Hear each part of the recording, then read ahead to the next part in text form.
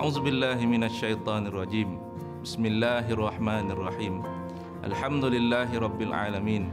Wassalatu wassalamu ala asyrafil anbiya'i wal mursalin wa ala alihi wa ashabihi ajma'in. Amma ba'd. Assalamualaikum warahmatullahi wabarakatuh. Alhamdulillah hari ini kita dapat menyambung lagi pembelajaran kita dalam subjek pendidikan Islam tingkatan 3. Apa khabar murid-murid ustaz hari ini? Ustaz doakan murid-murid ustaz semuanya berada dalam keadaan sihat wal afiat. Alhamdulillah. Pada hari ini murid-murid akan bersama Ustaz Muhammad Izwan bin Abdul Kadir dalam topik yang menarik untuk dikongsikan. Topik apa tu Ustaz? Sebelum kita mulakan, Ustaz ingin mengajak murid-murid untuk bersama menadah tangan membaca doa. Murid-murid, sila beri perhatian kepada doa yang akan Ustaz bacakan. Berikan perhatian juga dari segi maksud doa itu nanti ya murid-murid Bismillahirrahmanirrahim Allahumma inni a'udzubika minal ajzi wal kasal wal jubni wal haram. Wa a'udzubika min fitnatil mahya wal mamat. Wa a'udzubika min azabil qabri. Ya Allah aku mohon perlindunganmu daripada sifat lemah dan malas dan sifat pengecut dan nyanyuk daripada fitnah kehidupan dan kematian dan aku memohon perlindunganmu daripada azab kubur. Amin. Ya murid-murid. Murid-murid dapat memahami doa tadi tentang apa ya? Ya ianya tentang permohonan kita. Doa kita untuk dijauhi dari sifat-sifat yang tidak elok sifat-sifat yang merosakkan. Jadi, apa kaitan doa tadi dengan tajuk pembelajaran kita? Kaitannya dengan tajuk kita pada hari ini ialah hindari sifat-sifat negatif. Sebelum kita meneruskan pembelajaran hari ini, Ustaz mahu murid-murid sediakan dahulu buku teks, buku tulis dan pen untuk membuat nota dan catatan topik kita pada hari ini. Sekiranya murid-murid mempunyai buku teks pendidikan Islam tingkatan 3, bolehlah merujuk muka surat 69. Manakala bagi murid-murid yang mempunyai buku rujukan pula, sila lihat tajuk pelajaran ke-10 hindari sifat-sifat negatif ya. Baiklah, jom kita lihat dahulu pembelajaran hari ini agar murid-murid dapat mengenal pasti apa yang perlu dikuasai dalam tajuk ini. Pada akhir pembelajaran ini, insya-Allah murid-murid akan dapat pertama memahami maksud hadis. Kedua, menghuraikan empat sifat negatif yang terdapat di dalam hadis. Ketiga, menerangkan tiga pengajaran daripada hadis tersebut. Dan keempat, iaitu yang terakhir, mengamalkan sifat-sifat yang terpuji agar terhindar dari sifat-sifat negatif. Murid-murid, kita mulakan pembelajaran pada hari ini dengan mengetahui dan memahami maksud hadis terlebih dahulu. Jom murid-murid, mari bersama ustaz untuk membaca dan memahami hadis ini serta membincangkannya. Sekarang mari kita lihat terjemahan hadis ini satu persatu. An Anas bin Malik radhiyallahu anhu yaqul kana Rasulullah sallallahu alaihi wasallam yaqul Allahumma inni a'udzubika ya Allah aku memohon perlindunganmu minal ajzi wal kasal daripada sifat lemah dan malas wal jubni wal haram dan sifat pengecut dan nyanyuk. Wa a'udzubika dan aku memohon perlindunganmu minal fitnatil mahya wa min azabil qabr dan aku memohon perlindunganmu daripada azab kubur. Alhamdulillah kita sudah membaca hadis tersebut dan melihat hadis maksud hadis secara umum. Ingat lagi tak doa yang kita sama-sama baca tadi? Samakan dengan hadis ini? Sebenarnya hadis ini merupakan satu doa yang diajarkan oleh Rasulullah sallallahu alaihi wasallam kepada kita.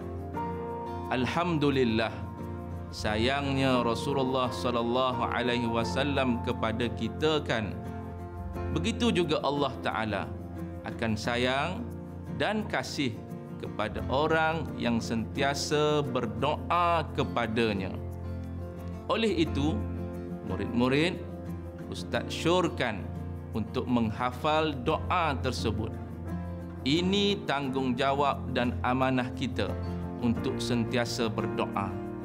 Caranya macam mana?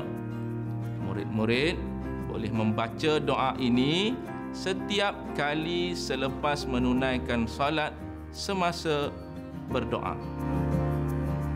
Sekarang, jom kita teliti secara lebih mendalam dengan memahami intisari atau maksud hadis serta isi-isi penting yang berkaitan hadis ini. Yang pertama, kewajipan kepada kita adalah untuk meminta doa dan perlindungan daripada Allah Taala apabila murid-murid sentiasa meminta berdoa kepada Allah Taala sudah pasti murid-murid akan rasa sangat dekat dengan Allah Taala. Allah Taala sangat suka kepada hamba-Nya yang meminta bantuan daripadanya. Ingat Allah Taala dan Rasulullah sallallahu alaihi wasallam sentiasa sayang dan kasih kepada orang yang suka berdoa. Begitu jugalah ibu bapa dan ayah kita. Sudah pasti mereka juga akan suka, akan gembira, akan kasih melihat anak-anak mereka yang sentiasa melaksanakan ibadah dengan berdoa. Yang kedua, setelah kewajipan untuk kita memohon doa, sudah pasti kita perlu tahu tujuan kita berdoa. Oleh itu, hadis ini menekankan untuk murid-murid berdoa dan memohon perlindungan memohon perlindungan daripada apa? Ya, murid-murid, perlindungan daripada sifat-sifat keji dan sifat-sifat negatif di dunia untuk kejayaan duniawi dan ukhrawi. Dan yang ketiga, hendaklah sentiasa memohon perlindungan daripada sifat daripada fitnah dunia dan akhirat iaitu azab kubur. Ingat ya, murid-murid, kehidupan hari ini bukan sekadar di dunia.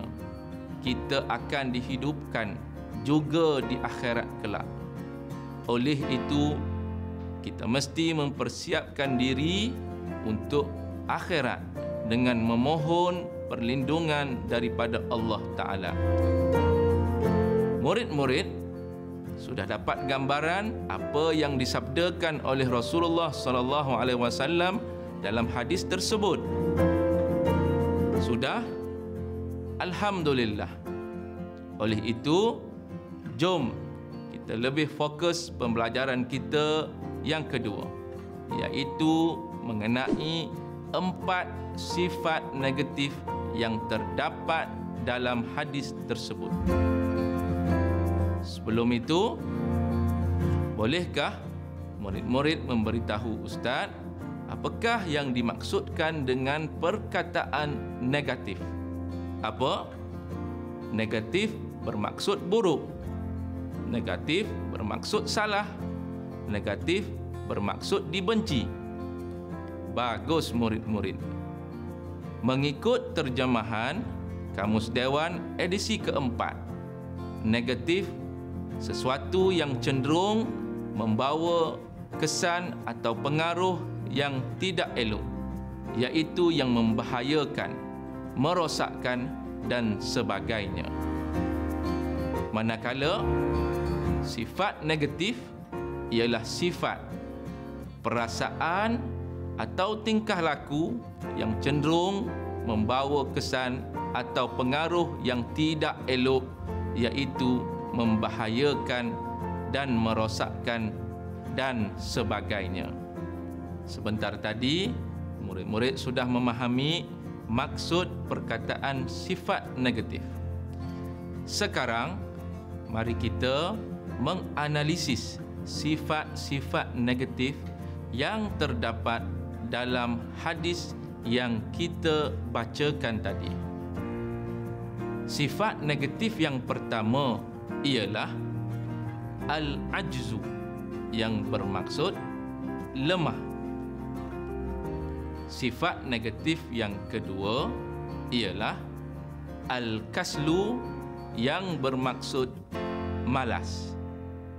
Sifat negatif yang ketiga ialah al-jubnu yang bermaksud pengecut.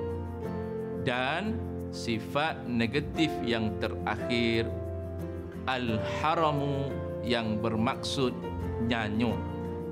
Jadi ada berapa sifat negatif yang terdapat dalam hadis tersebut murid-murid? Ya, tepat sekali. Ada empat sifat negatif yang perlu kita hindari dalam kehidupan seharian kita. Jangan sesekali terjerumus dengan sifat-sifat ini yang sudah pasti akan mendatangkan masalah kepada murid-murid. Baiklah, masih bersemangat untuk teruskan Jom, sekarang kita lihat satu persatu huraian sifat negatif tersebut agar kita fahami dengan jelas akan keburukan akan sifat-sifat ini. Kita mulakan dengan sifat negatif yang pertama. Al-ajzu membawa maksud lemah Lemah lawannya apa murid-murid? Lemah lawannya adalah kuat. Sebagai seorang muslim, kita perlu menghindari sifat yang melemahkan diri kita. Lemah bermaksud orang yang meninggalkan sesuatu yang tidak mampu dia lakukan. Orang yang lemah mungkin ada keinginan untuk melakukan kebaikan. Namun dia tidak mampu lakukan. Sebagai contoh pelajar yang sakit tidak dapat membantu guru untuk mengangkat barang. Anak yang kurang sihat tidak mampu untuk membantu ibu bapanya kuat mestilah dalam semua aspek fizikal dan mental. Jangan kuat fizikal sahaja tetapi mental lemah. Fizikal bermaksud dari segi kekuatan tubuh badan kita dari segi kesihatan kita. Manakala kuat mental pula ialah murid-murid mempunyai daya pemikiran yang kuat. Contohnya tidak tertekan, tidak stres dan sentiasa positif dalam pemikiran. Amat rugi jika kita menjadi seorang murid yang lemah, seorang anak yang lemah. Jika ianya berlaku, sudah pasti murid-murid tidak mampu melakukan kebaikan untuk guru dan ibu bapa serta orang di sekeliling. Justru, jom kita berazam untuk menjadi orang yang kuat. Jangan lemah-lemah tahu. Sifat negatif yang kedua yang perlu murid jauhi ialah al-kaslu bermaksud malas. Malas lawannya apa murid-murid? Malas lawannya rajin. Malas bermaksud kita meninggalkan sesuatu yang mampu dilakukan. Orang yang malas hanya mempunyai sedikit keinginan atau tidak ada langsung keinginan untuk melakukan kebaikan. Maksudnya, murid-murid tahu dan memahami untuk melakukan satu pekerjaan. Bukannya tidak tahu, akan tetapi disebabkan sifat malas yang ada dalam diri murid-murid, maka murid-murid tidak melakukan pekerjaan tersebut. Ataupun murid-murid hanya melakukan pekerjaan tersebut secara sambil lewa, tidak bersemangat dan tidak bersungguh-sungguh. Seperti kata pepatah, hanya melepaskan batuk di tangga. Antara contoh malas yang sering dilakukan oleh seorang murid ialah malas solat, malas berpuasa, malas bergaul dengan masyarakat, malas mengulang kaji pelajaran, malas membaca buku, malas menolong ibu bapa dan banyak lagi. Ha, murid-murid nak jadi orang yang malas? Sudah pasti tidak mahu kan? Ustaz doakan murid-murid akan menjadi murid yang sentiasa rajin. Insya-Allah. Seterusnya, sifat negatif yang ketiga yang perlu kita elakkan ialah al-jubnu yang bermaksud pengecut. Lawan pengecut apa pula murid-murid? Ya, pengecut lawannya berani. Atau dengan kata lain, pengecut boleh juga difahami dengan maksud penakut. Pengecut bermaksud orang yang tidak berani melakukan atau menghalang sesuatu situasi. Orang yang pengecut akan membiarkan kemungkaran berlaku tanpa memberhentikannya. Sebagai contoh, pengecut dan tidak berani untuk membantu orang yang dizalimi atau tidak menghalang kemungkaran. Ha, mesti murid-murid akan katakan orang yang berani mestilah orang yang boleh berlawan, orang yang boleh bergusti, orang yang boleh bersilat. Itu pandangan yang salah murid-murid. Orang yang berani bermaksud orang yang bijak dan berani membuat sesuatu tindakan. Tindakan tidak semestinya perlu bergaduh.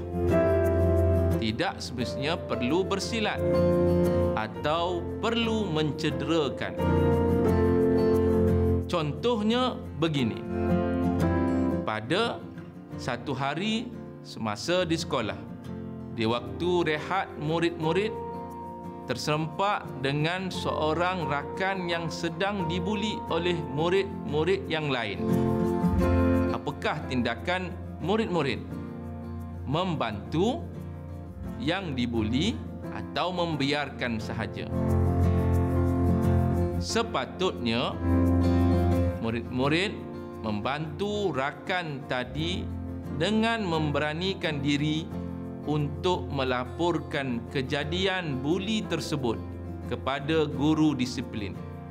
Beranikan diri, jangan biarkan kesalahan tersebut berlaku. Insya-Allah dengan bantuan murid-murid sudah pasti boleh menyelamatkan rakan-rakan yang dibuli tadi. Beranikan diri untuk membuat perkara yang betul dan mungkin boleh menyelamatkan rakan tadi. Dan sifat yang terakhir yang perlu kita hindari ialah al-haramu yang bermaksud nyanyuk. Nyanyuk ialah satu penyakit yang mengganggu kewarasan fikiran seseorang yang boleh menyebabkan perlakuan seperti kanak-kanak. Apabila seseorang itu mengidap penyakit ini, agak sukarlah baginya untuk melaksanakan aktiviti-aktiviti seharian, aktiviti ibadat dan sebagainya. Sifat atau penyakit ini kebiasaannya akan dihadapi oleh mereka yang sudah lanjut usia. Akan tetapi, ianya tidak mustahil akan berlaku kepada mereka yang belum lanjut usia. Oleh itu, kita mestilah menghindarinya dengan menjaga kesihatan dari awal lagi.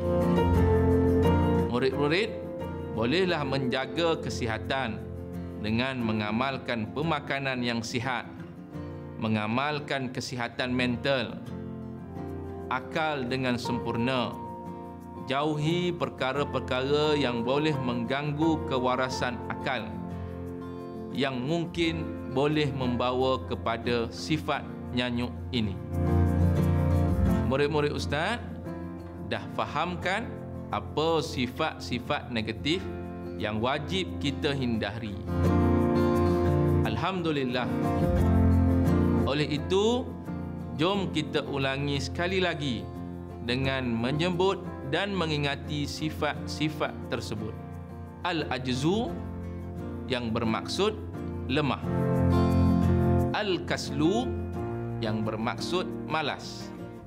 Al-jubnu yang bermaksud pengecut. Al-haramu yang bermaksud nyanyuk.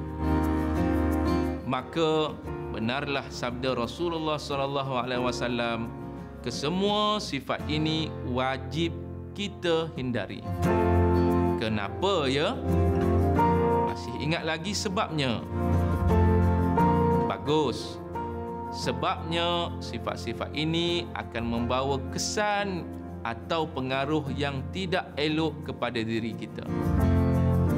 Mudah-mudahan kita semua terhindar dari sifat-sifat negatif ini. Baiklah, seterusnya kita akan membincangkan dan menerangkan tiga pengajaran hadis tersebut. Pengajaran yang pertama ialah kita hendaklah sentiasa berdoa agar dijauhkan daripada sifat negatif. Kerana Rasulullah sallallahu alaihi wasallam sendiri turut memohon perlindungan walaupun baginda seorang nabi dan rasul. Ini menggambarkan doa ialah satu ibadah yang perlu sentiasa kita lakukan. Dengan doa, sesuatu itu akan dipermudahkan. Akan diberi pertolongan oleh Allah Ta'ala. Jadi murid-murid, ayuh pertingkatkan amalan berdoa. Jangan malas berdoa. Jangan takut untuk meminta dengan Allah.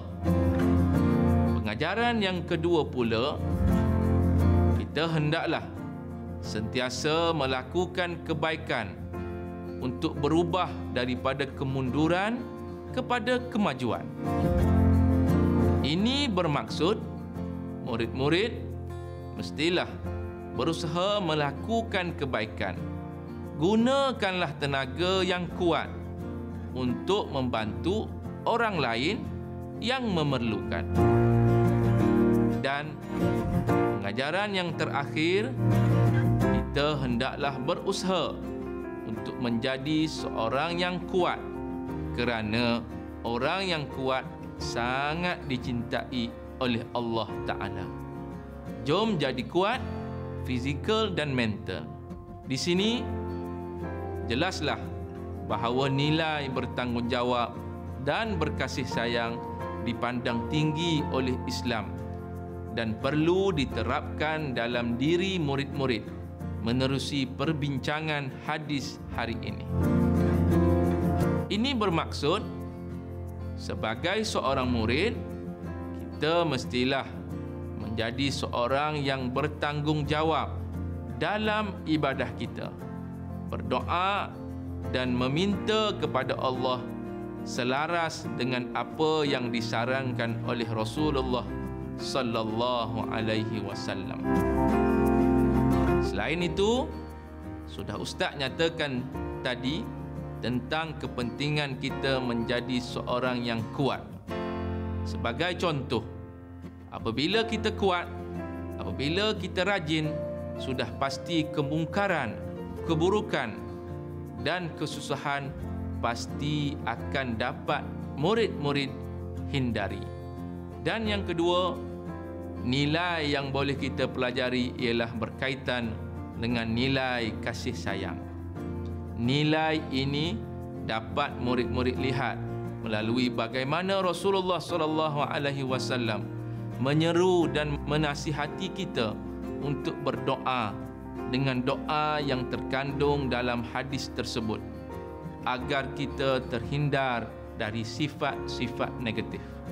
Jika Rasulullah sallallahu alaihi wasallam tidak mengasihi kita, sudah pasti baginda tidak akan mengajarkan kita untuk berdoa dengan doa ini. Alhamdulillah. Syukur. Baiklah murid-murid, kelas bersama dengan ustaz topik hadis tingkatan 3 hindari sifat negatif, kita telah sampai ke penghujungnya. Ustaz mengharapkan murid-murid dapat menguasai topik ini dan seterusnya mengamalkannya dalam kehidupan seharian secara beradab dan istiqamah.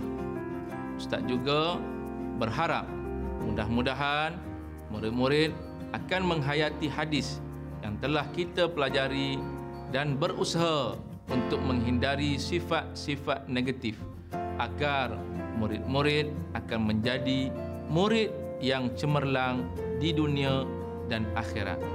Sekian sahaja untuk hari ini. Insya-Allah bertemu lagi pada masa akan datang. Tahniah buat anda. Jom jadi hebat, hebat akhlak, cemerlang ibadah. Sehingga berjumpa lagi pada kelas yang akan datang. Ila liqa ma'as salamah. Wabillahi taufiq wal hidayah. Wassalamualaikum warahmatullahi wabarakatuh.